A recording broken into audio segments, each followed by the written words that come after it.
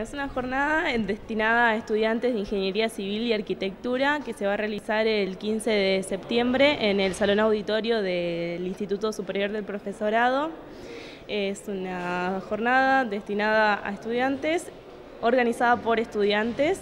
Este año contamos con el apoyo de estudiantes de arquitectura también. Es la cuarta edición, la primera edición se hizo en el año 2012, la segunda en el año 2014, la tercera en 2015 y bueno, este año contamos con el apoyo de la Municipalidad de Rafaela, fue declarada de interés municipal, interés provincial. Y también tenemos el interés académico por ambas facultades, UTN y Universidad Católica de Santa Fe.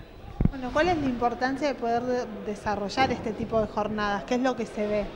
Y tenemos charlas de diferentes eh, temas de la construcción, de eh, temas nuevos, digamos, que se del ámbito de la construcción, BIM, que son nuevas tecnologías, el desarrollo sustentable, que es un tema importante también, la impermeabilización de los suelos, eh, estructuras, de desarrollo de estructuras también hay una gran variedad de temas que son de la actualidad que por ahí tanto en la facultad no no se tiene muy en cuenta a la hora de enseñar. Digamos.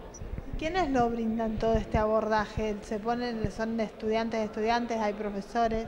Tenemos, es de estudiantes, tenemos el apoyo también de los profesores que nos brindan a los disertantes, eh, sí, pero la mayoría es hecho de estudiantes y para estudiantes, digamos.